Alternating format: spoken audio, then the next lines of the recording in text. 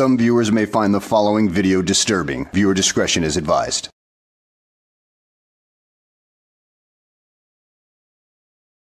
Well, hello and welcome back to the channel, everybody. In today's video, we find ourselves in California with uh, the frauditor known as Nasty Nathaniel as he attempts to audit a Jack in the Box.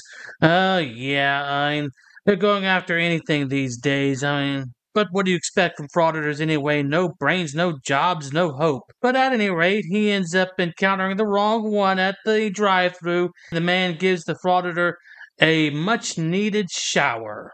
Nasty Nathaniel, out here in the beautiful and very hot Kern Valley. Joining me is Matthew the King. And right now we're going to be conducting a First Amendment audit of Jack in the Box. Yeah! We're going to make sure that our friends at Jack in the Box, or Jack in the Crack, as some people like to call it, respect and honor our constitutionally protected right to record what we can see in a public space.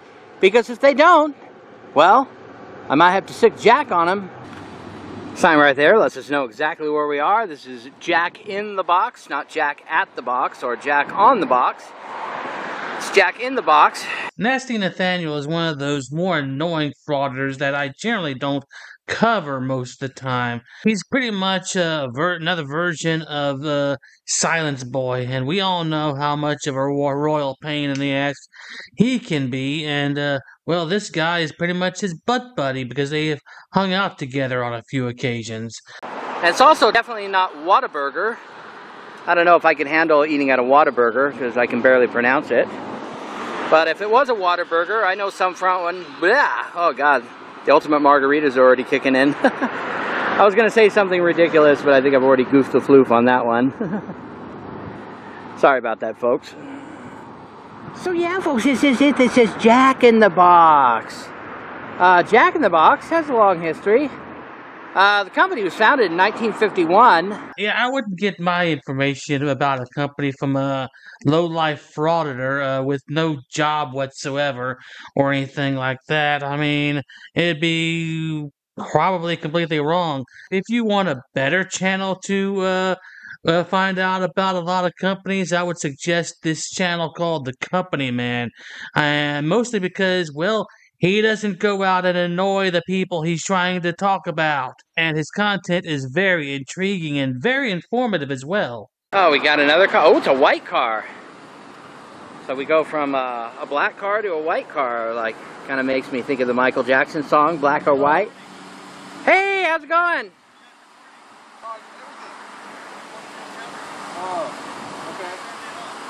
I can't hear you. You have to come a little closer.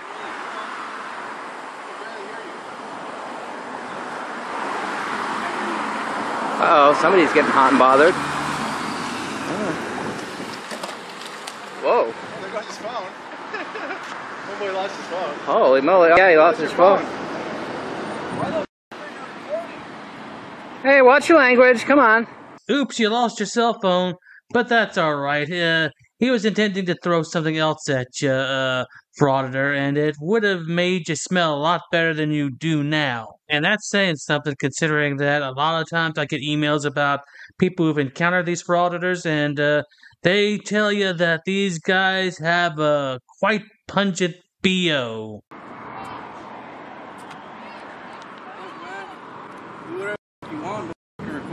Hey, you're in public, brother. We can record whatever we want. Shut the blinds.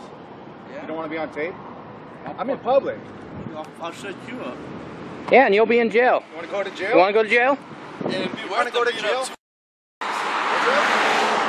Well, I'm, I'm actually uh, a Caucasian.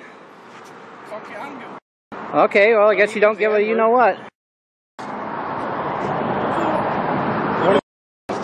know where I'm from? Where? Watts, LA. Damn. Right. All right. Right on. And I'm from Honolulu, Hawaii, so what do you, what do you know about that?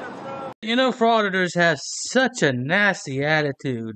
In fact, I'm sure that if they walk around in certain actual tyrannical countries, they wouldn't last five minutes in them because the police would definitely come by and make them disappear forever. But luckily, uh, we live in the United States where uh, these idiots are tolerated, and if they weren't, like I said, they would be erased from existence.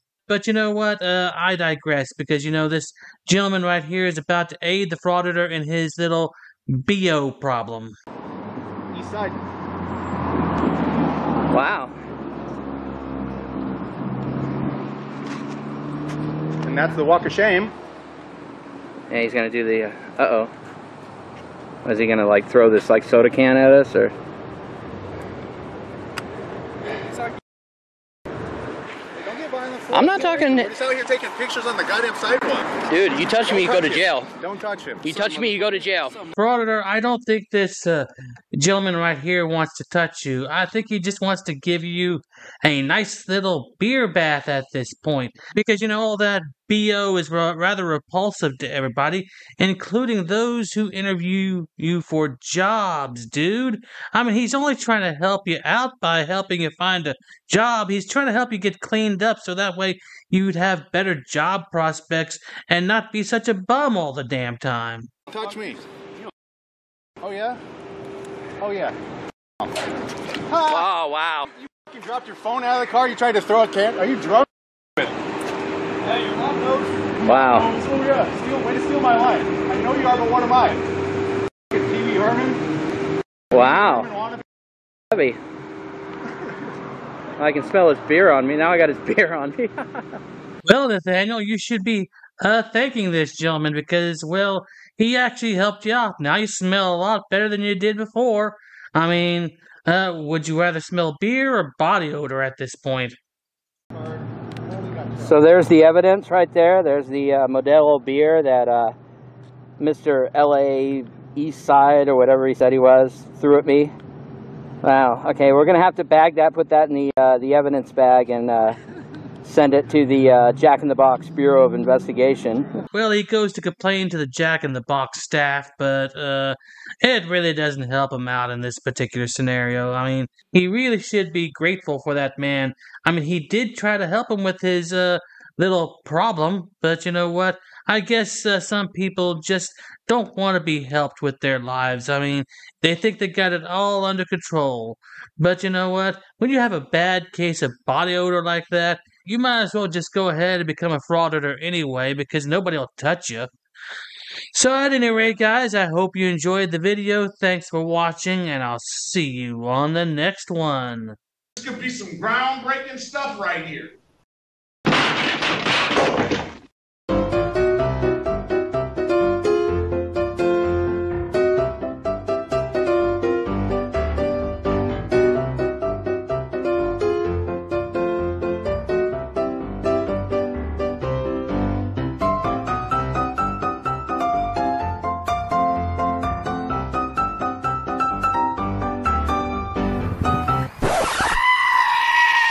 Dude, so there's no way I can get in, bro?